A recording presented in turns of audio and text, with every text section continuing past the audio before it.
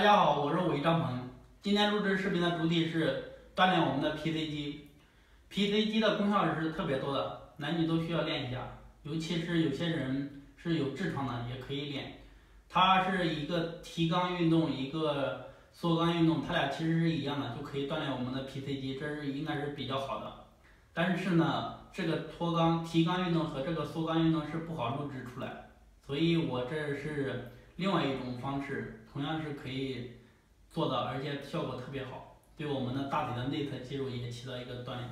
好，我们讲一下方法和步骤。首先，我们平躺，或者是找个瑜伽垫，或者床上都可以用的。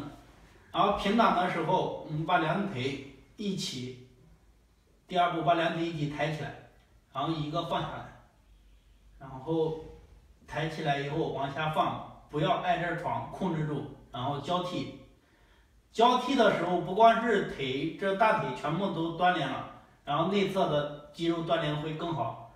然后交替，这样有一点要需要注意的就是，在交替的过程中，我们要把那个肛门向上吸紧，就就像我们想上厕所拉屎要憋屎的一样，加紧往上收。收腹，然后肛门也是往上，就这样，收紧肚子，然后肛门向上提，每天坚持做个三十次，为一组，一般做个三组就够了。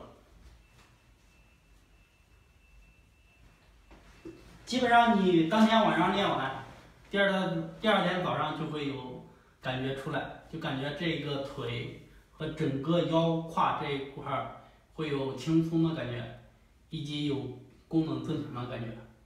好，今天就录到这里。